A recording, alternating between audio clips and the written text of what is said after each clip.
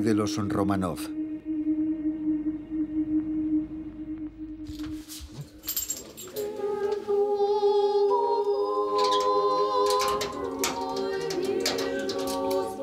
Para cualquier ruso es emocionante poder sumergirse en los archivos de su país para investigar su historia y la de sus antepasados. La de mi familia rusa está en unas cajas en los sótanos de los archivos nacionales. El final de nuestra historia en este país coincidió con el final de la del zar Nicolás II el 15 de marzo de 1917. Aquel día, el emperador de todas las Rusias hizo bascular al mundo hacia una nueva época. Ah, este es el acta de abdicación del trono de Rusia de Nicolás II firmada por él. Declaramos, por el bien del pueblo, nuestra voluntad de abdicar del trono del Estado ruso y de liberarnos del poder supremo. Como no queremos separarnos de nuestro adorado hijo, legamos nuestra herencia a nuestro hermano el gran duque Michel Alexandrovich y le damos nuestra bendición para acceder al trono del Estado ruso. Un mes antes, la llamada Revolución Burguesa de febrero había hecho tambalear el trono. Para evitar que todo se desmoronase, el gobierno provisional y los jefes de los ejércitos exigieron su marcha. Estos dos parlamentarios, Chulgin y Guchkov, consiguieron que firmase con lápiz en la parte inferior de la hoja. Cuando Nicolás II firmó, mi tatarabuelo no debía estar muy lejos. En aquel momento, el príncipe Vasily Dolgorouki era el jefe de la casa militar del zar. Cuando los generales le empujaron a abdicar, no se dieron cuenta, ni él tampoco, de que al firmar el acta estaba firmando la sentencia de muerte de la monarquía. Él pensaba que abdicar no tenía importancia. Nadie tenía experiencia en política. No comprendían que suponía el fracaso de la antigua forma de gobernar. Era el desmoronamiento total. Rusia y Europa no volverían a ser las mismas. La familia Romanov, en compañía de mi antepasado, emprendió un largo viaje que acabaría bañado en sangre el verano de 1918, 17 meses más tarde.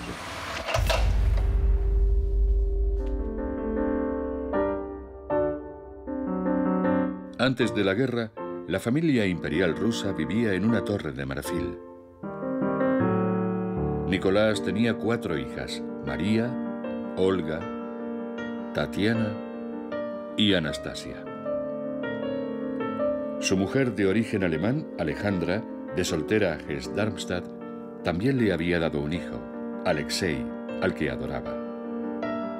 Un niño sensible y frágil, hemofílico, al que protegía como a la niña de sus ojos. Desde principios de siglo, Rusia rugía, protestaba y a veces se sublevaba. En 1905 estalló una revolución que fue abortada. Desde entonces la familia real se instaló en el Palacio de Alejandro, en Sarkoye Selo, a 20 kilómetros de San Petersburgo.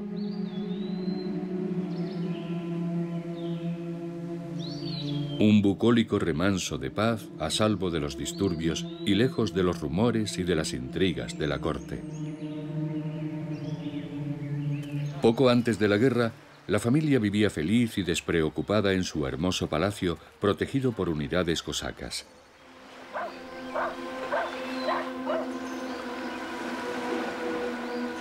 Desde allí, mi tatarabuelo Basili, con su gran bigote, cuidaba de este pequeño mundo a salvo de las amenazas que se cernían.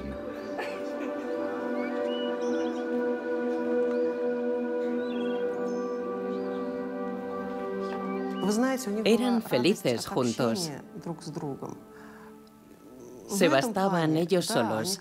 Había un reducido grupo de personas entre las que se encontraba Dolgorouki, que conocía muy bien a la familia.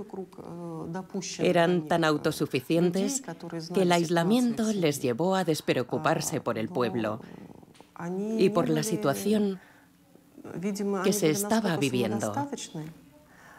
Se concentraron tanto en la propia familia que lo demás les era indiferente. Ignoraban la situación real del país y no se dieron cuenta tampoco de que en realidad no podían hacer nada por cambiarla. Aquello era una espiral infernal. Nicolás se convirtió en el artífice de la desgracia de su imperio.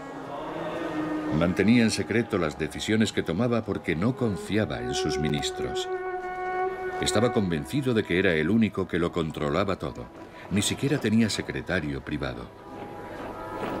El sistema autocrático estaba podrido y Nicolás vivía en la fantasía.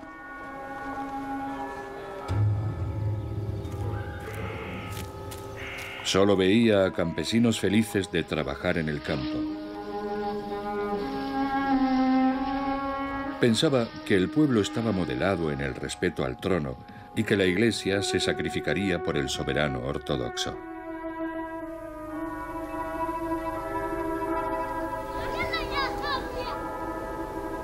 No quería ver que la mayoría de los 140 millones de habitantes de Rusia eran campesinos sin instrucción hambrientos y oprimidos.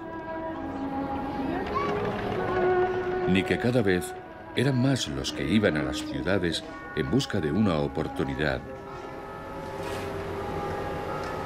para trabajar en las nuevas fábricas engrosando las listas del proletariado maltratado, cada vez más sensible a las ideas revolucionarias. A Nicolás le preocupaba mucho más la diplomacia alterada por el aumento de poder de la Alemania del emperador Guillermo. Nicolás era primo de Jorge V y amigo del presidente Poincaré, así que se decantó por la triple entente, Rusia, Francia y Gran Bretaña. Cuando estalló la guerra en 1914, Rusia parecía estar preparada. Nicolás envió tres millones de hombres a la batalla, pero fue un desastre inmediato.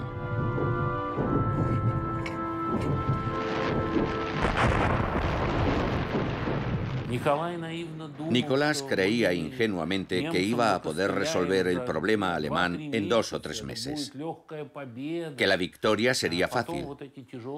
Pero se desengañó después de los primeros grandes combates y tras las primeras grandes derrotas. Además, la producción de armas era totalmente insuficiente. Rusia se batía en retirada. Para salvar la patria, Nicolás II decidió tomar el mando del ejército. De inmediato destituyó a su tío, el generalísimo gigante al que la tropa adoraba. No fue una buena idea, porque a partir de ese momento Nicolás II sería el responsable de la derrota. A principios de 1917 habían muerto un millón y medio de soldados, cinco millones estaban heridos o prisioneros y Rusia había perdido buena parte de su territorio occidental. En los años 1916 y 1917, la población estaba agotada por la guerra. La guerra era interminable. Todos los días llegaban a San Petersburgo y Moscú cinco trenes con heridos, un día tras otro. Había que alojarlos y curarlos. Los ciudadanos querían la paz. Se preguntaban cuándo iba a terminar la guerra. Detrás de las líneas no había tiempo para enterrar a los muertos. El ejército retrocedía en desbandada, desabastecido. El país estaba exhausto. Las ciudades y los campos se morían de hambre.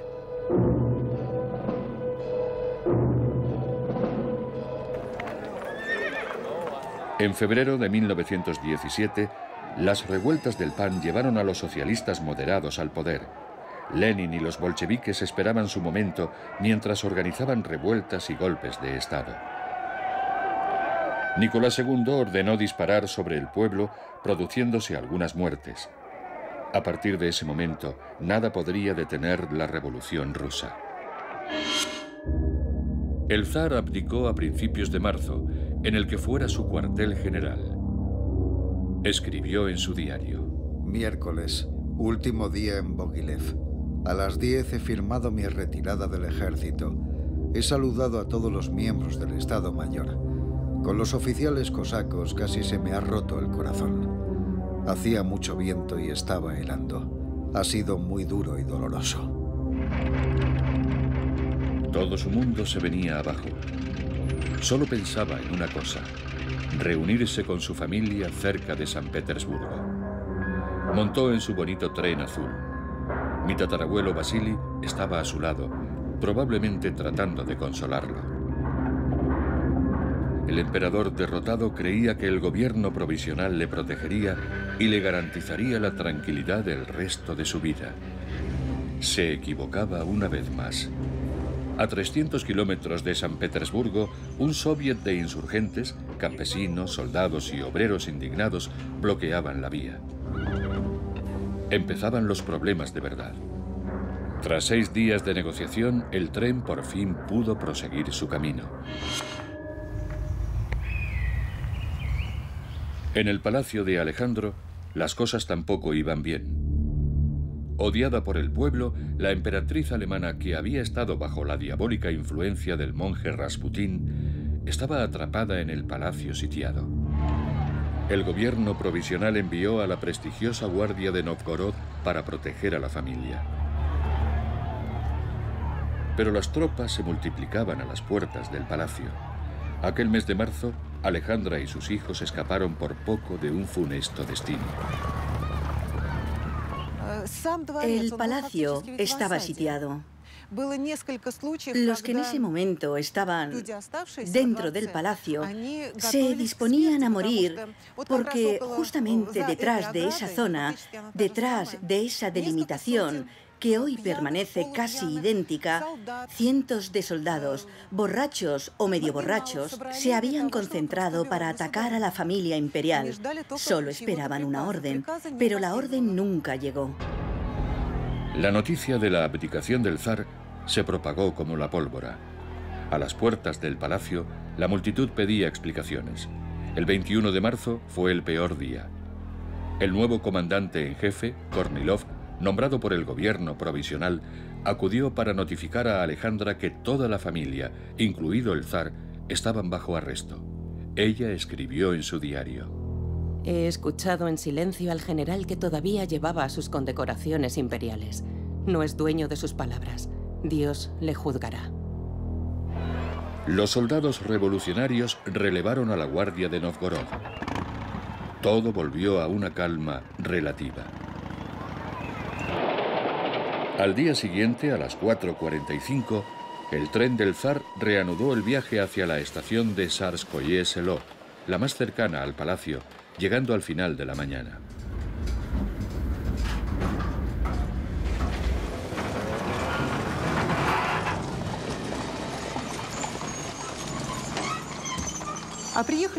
Llegaron el 22 de marzo de 1917 a las once y media de la mañana a la estación de Sarsko y que es esta en la que estamos ahora. Solo había un coronel esperando al soberano y a su séquito. En cuanto el tren paró, todos los que acompañaban a Nicolás en el viaje saltaron al andén y huyeron como conejos en todas las direcciones. El único que descendió del vagón dignamente junto a Nicolás fue Vasily Dolgorouki. Fue el único que permaneció a su lado. Le acompañó al palacio de Alejandro y ya nunca lo abandonó. Subieron a un coche y se dirigieron al palacio de Alejandro. El zar no sabía con precisión cuál era su situación, pero le informaron al llegar. Estaban todos bajo arresto, tanto la familia como los que la acompañaban. Entre ellos mi tatarabuelo Vasily. En las habitaciones no había cambiado nada, pero les habían cortado la luz y el agua. Caminaban para calentarse. Era el mes de marzo. Hacía mucho frío y tenían que romper el hielo de estos estanques para tener agua. No les quedaban provisiones. Nadie les abastecía. Vivían literalmente de minúsculas raciones, porque en el palacio todavía quedaba mucha gente. Era como estar en una cárcel. El final del invierno fue muy crudo. La temperatura llegaba a los 40 grados bajo cero. Había que racionar las escasas reservas para evitar el hambre a la familia y a su reducido entorno. Los representantes del imperio tenían ampollas en las manos, obligados a trabajar el hermoso parque transformado en huerto. Los guardianes, elegidos por el gobierno provisional en las guarniciones de San Petersburgo, no eran ajenos a la propaganda bolchevique que invadía la capital y se burlaban de ellos.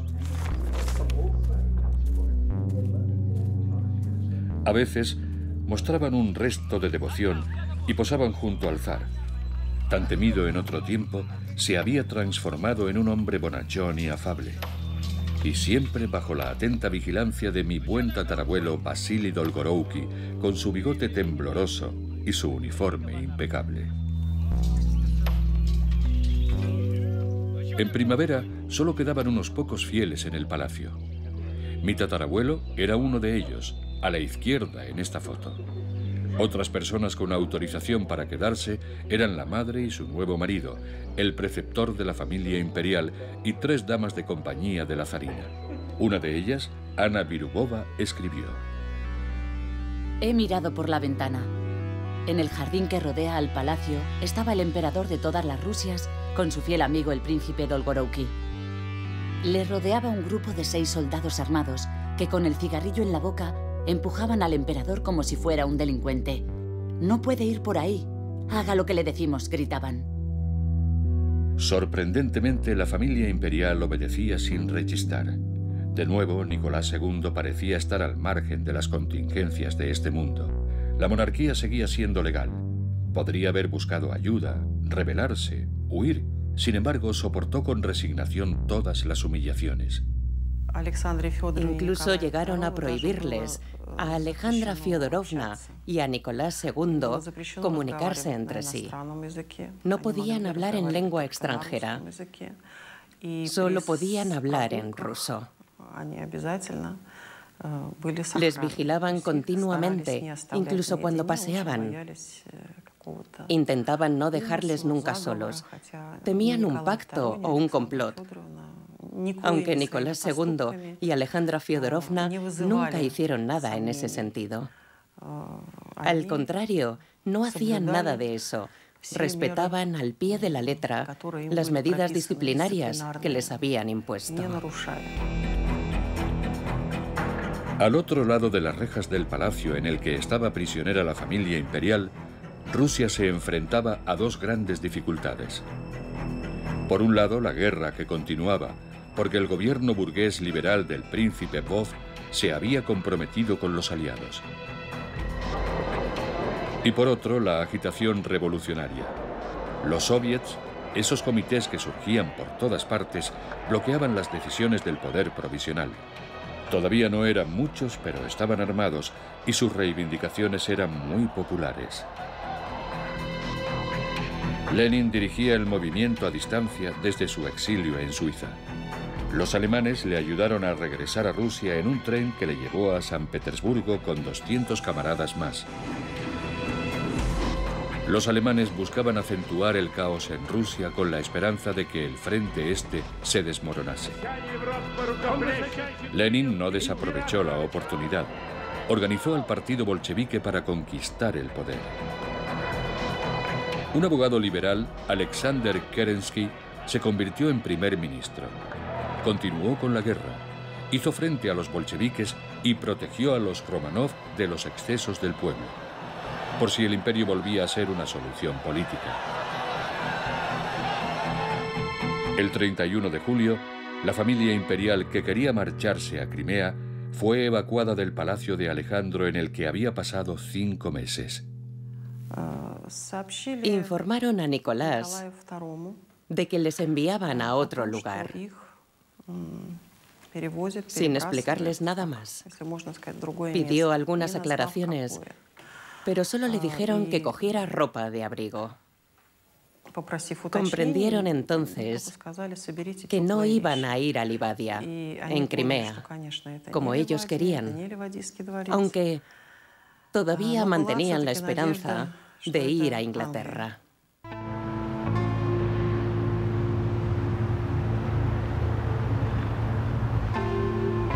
El exilio en Inglaterra para los Romanov era una evidencia familiar y política.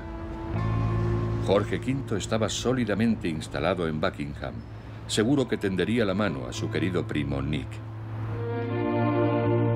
Antes de la guerra, las dos familias se veían mucho, como todas las monarquías de Europa, enmarañadas con sus alianzas familiares. Nicolás y Jorge eran primos emparentados por la familia real danesa y mantenían una cálida correspondencia. Se parecían mucho entre ellos. Tenían un parecido increíble. Se cortaban la barba y los bigotes de la misma forma. Creo que intentaban parecerse todavía más. Pero el rey de Inglaterra, más realista y con frialdad, abandonó a su primo, el zar. Pese al afecto que sentía por su primo Nicolás II, Jorge V no quería que se asociara la monarquía británica con un déspota extranjero odiado por todos. Y el hecho es que toda Europa consideraba a Nicolás II como el mayor de los tiranos que dirigía una gran potencia en ese momento. Sí, le gustaba decir somos primos, parecemos gemelos, pero en realidad estaba diciendo, Nicolás, quédate en casa y que el destino decida tu suerte.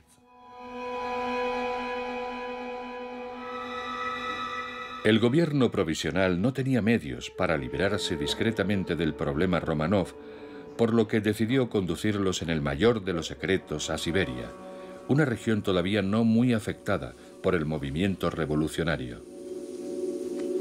Ironías del destino. Siberia era desde hacía siglos la tierra del exilio para los deportados del régimen zarista. Les dieron muy poco tiempo para prepararse y no tuvieron más remedio que dejar muchas cosas de valor aquí.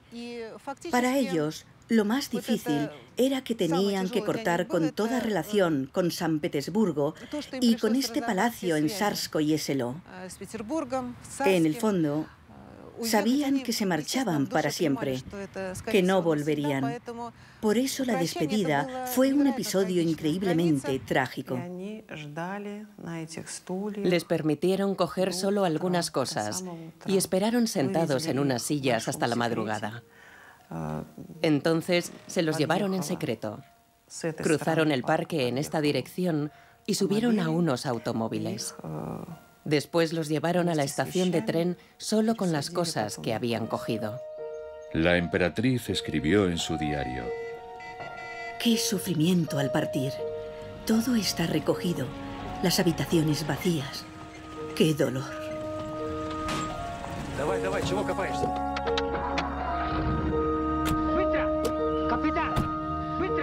Al alba, unas 30 personas emprendieron el camino hacia el exilio interior.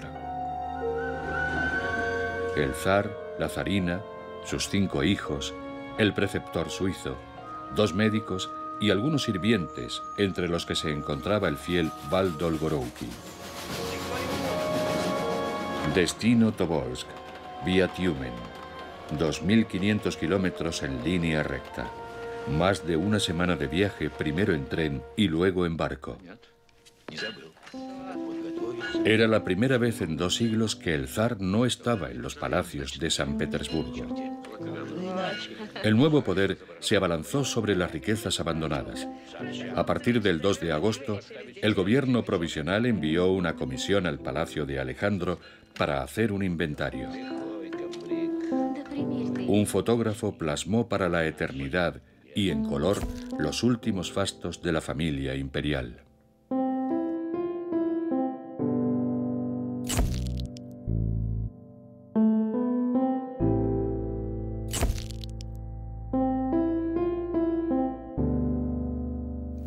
Le tenían mucho cariño al palacio de Alejandro. Allí fue donde Nicolás y Alejandra se conocieron y pasaron su infancia. Era su refugio, su jardín encantado, su juventud. Cuando venían se encontraban en la casita de niños. Hay una hermosa nota sobre eso en el diario de Nicolás II. Adiós maderas preciosas, hermosos lienzos y ricos cortinajes. El futuro no será tan lujoso.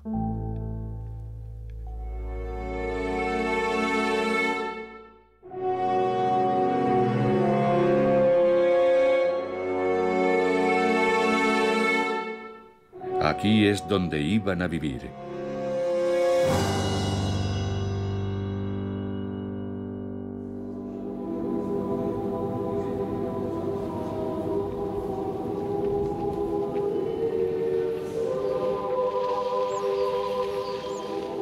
Tobolsk sigue siendo hoy un duro destino. En 1917 era una aldea casi inaccesible. No tenía estación, solo el río cuando no estaba tomado por el hielo. El 4 de agosto, la familia estaba en Tiumen. Todavía había barcos que remontaban el Irtish. Las autoridades habían requisado un vapor para llevar a la familia y a su séquito a Tobolsk. Un lujoso barco de nombre Rus. Probablemente esos fueron los últimos instantes de felicidad de los Romanov. El 6 de agosto estaban en Tobolsk, donde pasarían ocho meses.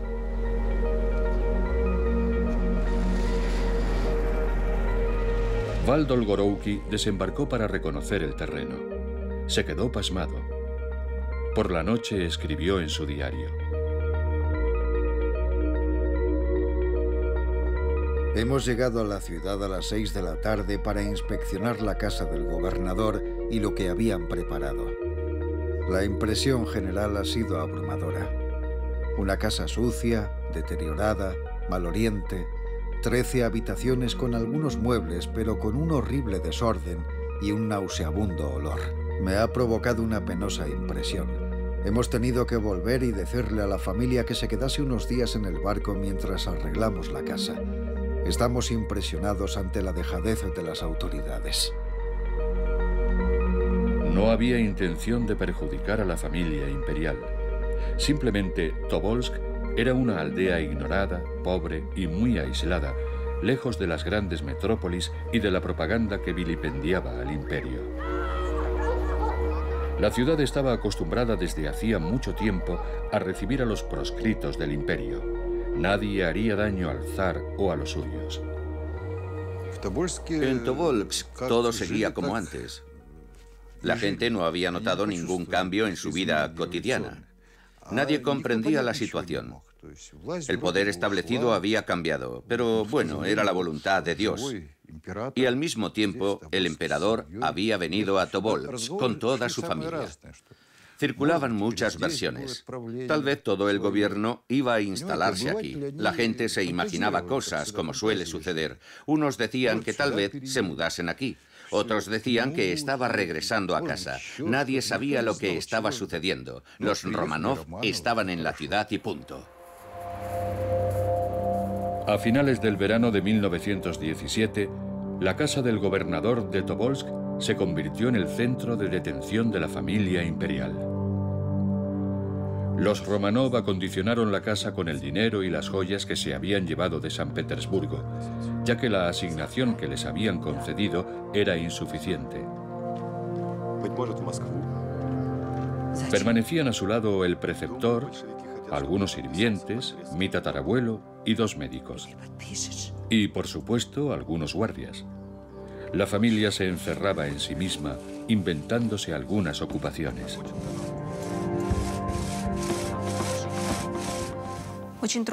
Es conmovedor ver las fotografías de los miembros de la familia imperial, sobre todo las que se hicieron aquí, en Tobolsk.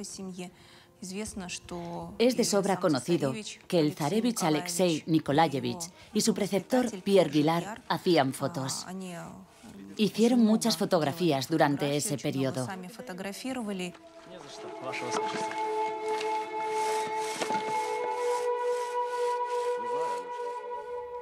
Aquí tenemos una fotografía muy interesante en la que vemos a Nicolás II sentado con sus cinco hijos en el tejado del invernadero, tomando el sol. Van vestidos de forma poco imperial. Los sombreros, las bufandas. Resulta difícil imaginar que estas jóvenes eran grandes duquesas y podrían haberse casado con reyes.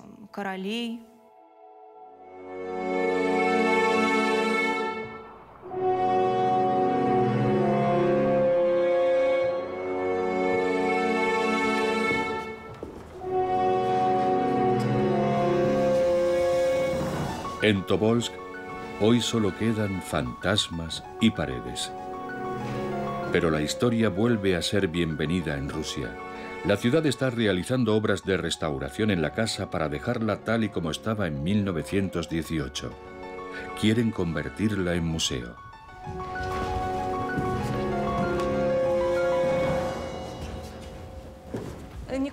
Nicolás II mandó colocar justamente aquí una mesa en la que leía y contestaba toda su correspondencia.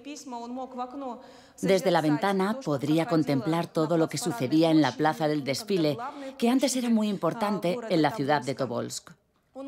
Aquí rezaba y reflexionaba sobre el destino de su país y de su pueblo. A veces su esposa le hacía compañía y se sentaba en un sofá negro de piel. Para las celebraciones litúrgicas o para estar con la familia, iba a una gran sala común, por aquí.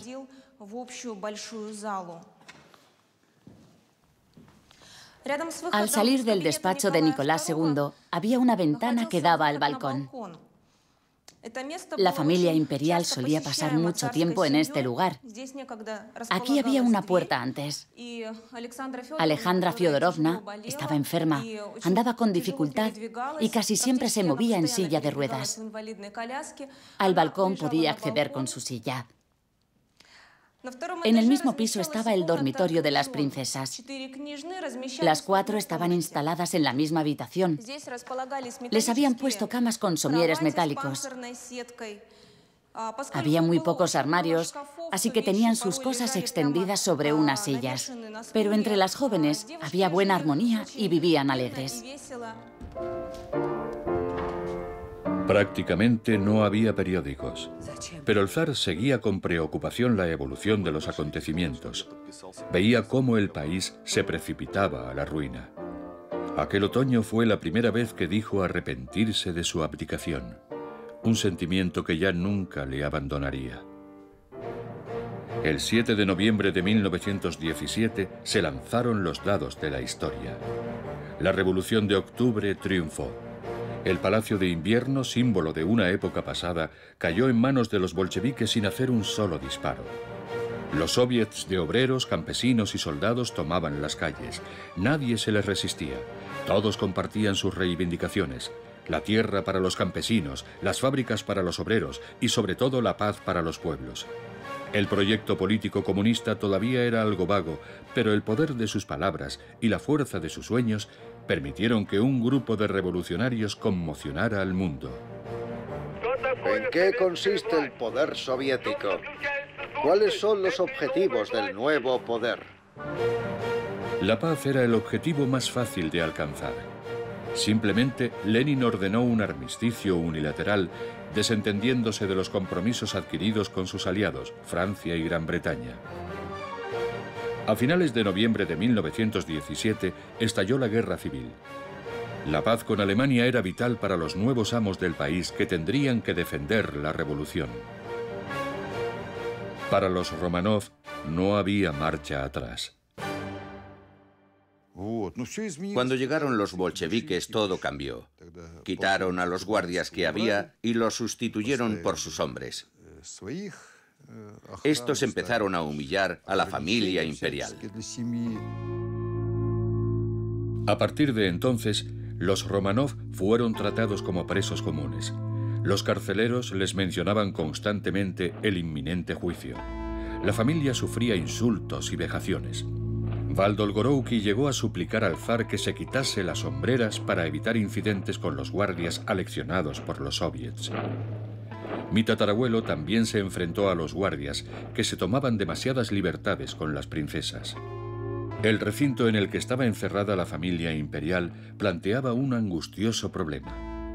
Solo había un pequeño patio cercado por una valla para que nadie les pudiera ver. Los niños se cansaban y enfermaban a menudo. Nicolás y Alejandra no tenían ganas de nada, casi no tenían nada que comer y con el paso del invierno las esperanzas languidecían. La nobleza y la iglesia, pilares del zarismo, se habían esfumado y las grandes dinastías europeas se tapaban los oídos. El preceptor de los niños que seguía con ellos escribió a principios de abril de 1918. Estamos todos en estado de angustia mental. Pensamos que todos nos han olvidado. ¿Es posible que nadie levante un dedo para salvar a la familia imperial? ¿Dónde están los que permanecen fieles al zar? ¿Por qué tardan tanto?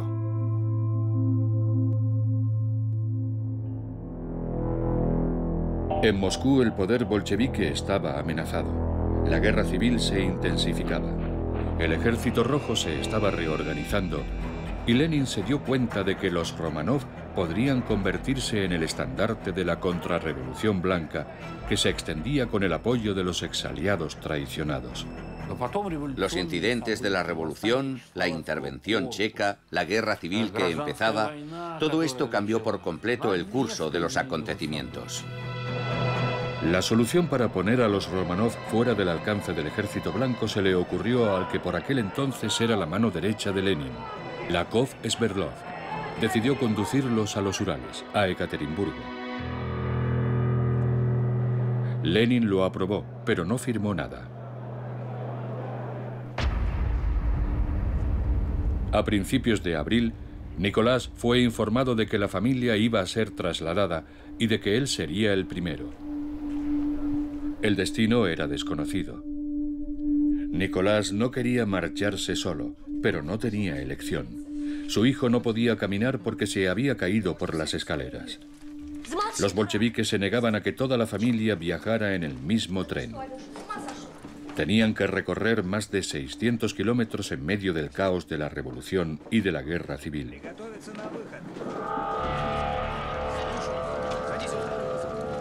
El hombre de confianza de Sverdlov, el comisario Yakovlev, organizó dos convoyes diferentes con destino a Ekaterimburgo.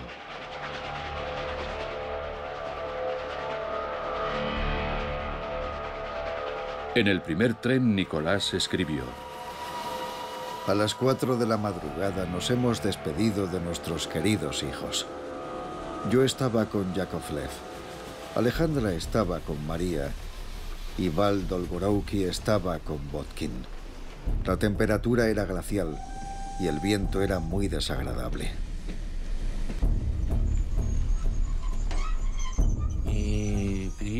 Llegaron a Ekaterimburgo. Fueron conducidos a la casa del comerciante Ipativ y allí empezó una historia muy diferente.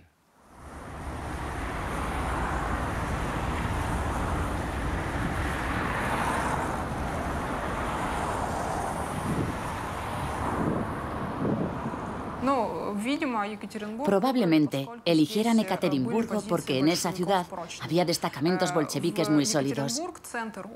Ekaterimburgo era el epicentro de las fábricas de los Urales y en estas fábricas había presos criminales. Por eso disponían de los medios necesarios para proteger a los bolcheviques. Todo en la ciudad hacía posible encerrar en un régimen penitenciario a la familia imperial. Llegaron el 30 de abril.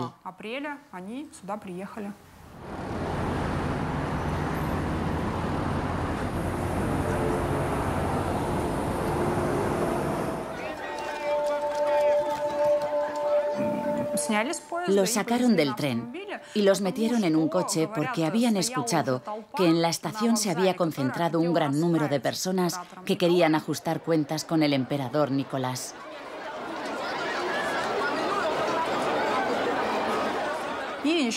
Después llegaron los sirvientes que no habían abandonado aún a la familia imperial. Y también el general Dolgorouki junto con el oficial Tatishev. Pero a ellos los separaron inmediatamente y los enviaron a prisión. Para alojar a la familia imperial, el Soviet de Ekaterimburgo requisó la casa Ipativ en el centro de la ciudad, prometiéndole al propietario que la recuperaría enseguida. Se sobreentiende que los Romanov no iban a permanecer mucho tiempo en ella. Hoy seguimos sin saber con precisión cuáles eran las intenciones de Lenin y del partido bolchevique para con la familia. Rehenes, moneda de cambio, es un secreto de Estado, eliminado igual que la casa Ipativ, que fue derribada en los años 60. Solo tenemos reconstrucciones. A principios de 1918, la vivienda estaba cercada por una doble empalizada. Había ametralladoras en el tejado y centinelas por todas partes. El 30 de abril la puerta se cerró. Nicolás y su pequeño séquito esperaron durante un mes la llegada del resto de la familia. La familia tomó el tren a finales de mayo. Los niños, un médico y el preceptor que hizo las que serían las últimas fotos de los Romanov vivos. En ellas se ve a la pequeña Anastasia, al zarevich Alexei y a Olga. El 23 de mayo Nicolás II escribió. Esta mañana nos han anunciado gradualmente que los niños estaban a unas horas de la ciudad, que habían llegado a la estación y por fin que acababan de traerlos a casa. Qué alegría más grande he sentido al volverlos a ver y abrazarlos después de cuatro semanas de separación e incertidumbre. Últimos momentos de felicidad. Tras estas paredes, el zar y los suyos desaparecieron definitivamente de los ojos del mundo. La ciudad estaba controlada por soviets de obreros armados de donde salían los guardas de la casa Ipativ. Su jefe era un agresivo hombre que solo se dirigía al zar vencido para llamarle bebedor de sangre. Prisioneros y guardias compartían el mismo piso en torno al comedor. Nicolás II estableció un despacho en el salón. Las habitaciones no tenían puertas, según los guardias por razones de seguridad unos guardias que permanecían de pie mientras los últimos criados servían lo poco que había para cenar a los Romanov. Las cuatro hermanas dormían juntas y el príncipe heredero y sus padres en la habitación contigua. No tenían ninguna intimidad.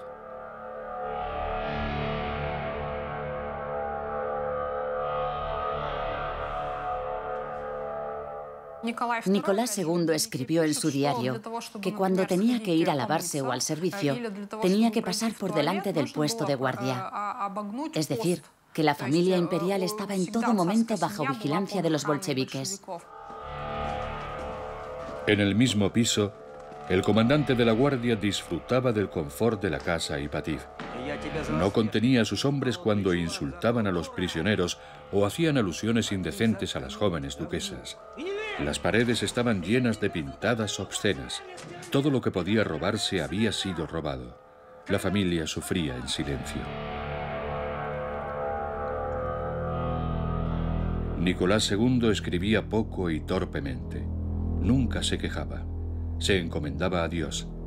Solo lamentaba la ausencia de su amigo Val, preso en la otra punta de la ciudad. Basili no tenía acceso a la prensa, pero escribía muchas cartas que nadie enviaba, como esta llamada de socorro a su hermano. Querido Paul, he sido detenido y encarcelado. He escrito una carta solicitando que me liberasen y me permitiesen ir a San Petersburgo para ver a mi madre enferma. Dile que si Dios quiere, pronto la veré. En Moscú el poder estaba preocupado. Lenin soltaba discursos al nuevo ejército ruso. La paz prometida no había durado. La contrarrevolución a la vez monárquica y republicana ganaba importancia. De nuevo, Caos, matanzas y terror. Abusos blancos contra delitos rojos.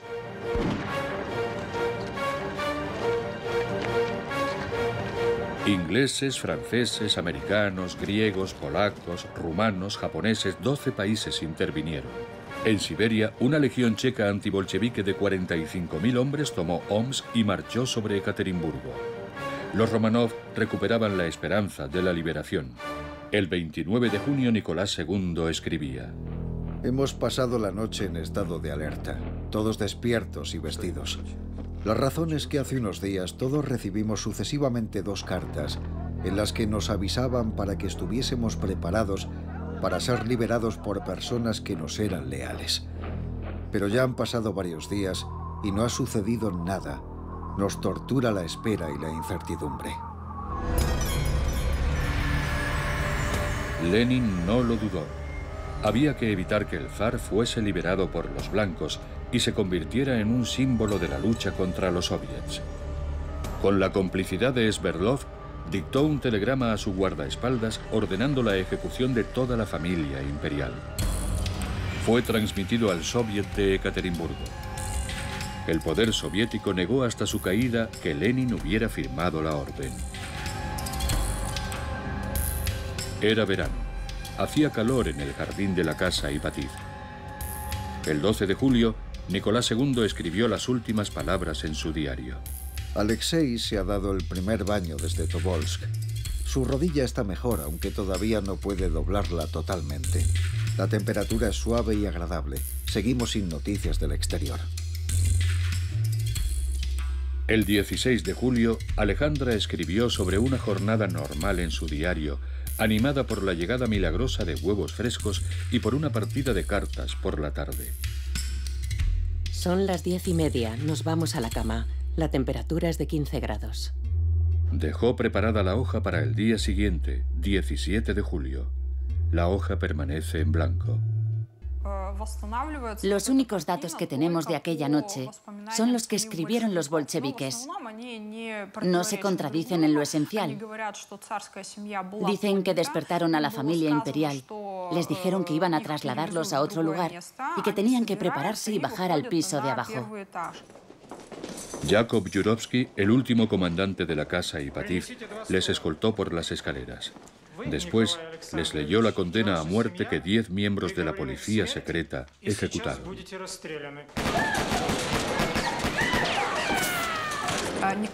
Nicolás murió de un único disparo y se desplomó rápidamente. Alejandra Fyodorovna recibió dos disparos. Las hijas permanecieron vivas bastante tiempo porque llevaban cosidas a la ropa joyas con diamantes y otras piedras preciosas que las protegieron. En cuanto al zarevich Alexei, los documentos hablan de que tardó bastante en morir. La Legión Checa llegó demasiado tarde. Pudo grabar las imágenes del lugar de la masacre, pero no encontró los cuerpos de las víctimas. Los asesinos cargaron en un camión los cuerpos del zar, su esposa, sus cinco hijos y los cuatro últimos sirvientes. Un pelotón se encargó de hacerlos desaparecer. Los once cuerpos fueron descuartizados y quemados. Los rociaron con ácido y los enterraron en este bosque, en un lugar llamado la Pradera del Cerdo. Solo hubo un anuncio oficial reconociendo el fusilamiento de Nicolás, pero también afirmaba que el resto de la familia fue trasladada a un lugar seguro, lo que dio lugar a la aparición de muchos impostores. En las calles se pusieron copias de este telegrama que anunciaba la ejecución del zar. Esta fue la versión oficial hasta la caída de la Unión Soviética. Hubo que esperar hasta 1991 para que el presidente Boris Yeltsin autorizara las exhumaciones. Los historiadores no tienen duda, toda la familia imperial fue ejecutada. Se han identificado todos los cuerpos. Hoy, en el terreno de la casa Ipativ, se alza una catedral que se ha convertido en un lugar de peregrinaje para la Iglesia Ortodoxa. Nos hemos reunido para celebrar una gran fiesta eclesiástica, hace 100 años se cometió aquí un crimen terrible. Actualmente la Iglesia Ortodoxa rusa ha canonizado al zar y a toda su familia. Desde 1917 hasta la caída de la Unión Soviética, se abstuvo prudentemente. El zar y toda su familia fueron torturados hasta la muerte, asesinados, descuartizados y quemados.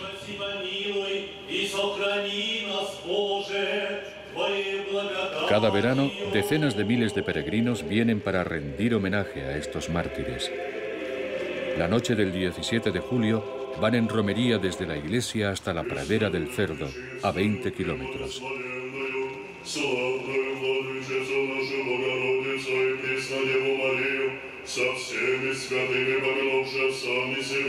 Curiosa mezcla de devoción, nacionalismo y beatería que revela la fascinación que sienten algunos rusos por un poder fuerte y centralizado. Pero nunca nadie ha movido un solo dedo para encontrar a Valdolgorouki. Lo único que se sabe es que fue ejecutado en un bosque una semana antes de la masacre de la casa Ipatir. Su muerte sigue alimentando la disputa entre sus descendientes.